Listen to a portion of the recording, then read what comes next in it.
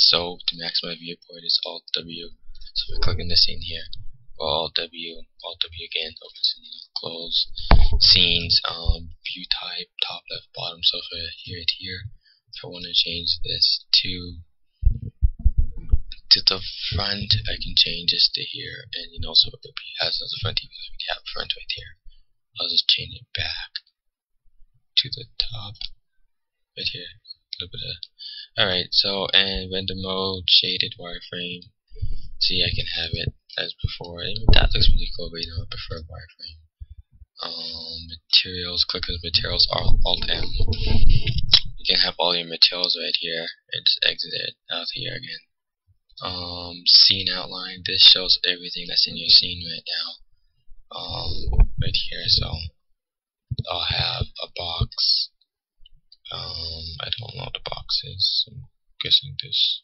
Oh, I said box or a sphere, sphere, and the light, which is right there in the perspective view.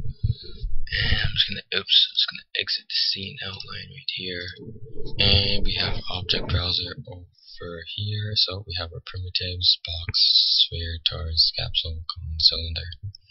We have our lights right here, point, directional, hemisphere, spot, projector, scene elements, sky, and trees, and shapes. Um, I haven't really tried any of these at all.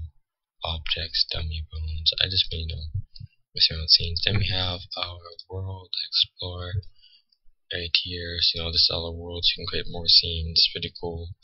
Um, you can create different types of scenes, but just, just a quick overview. World Explorer right here.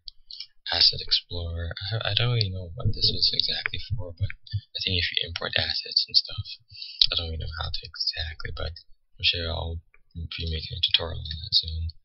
Once I get it. So, um, yeah, the asset view, show grid, toolbars, other windows right here. Transform, don't let that is show grid. Um, we can show all the toolbars up top here.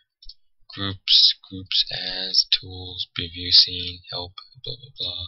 And here, so we have our select tool, our move and select, our rotate, our scale. This is to attach an object as a child of another.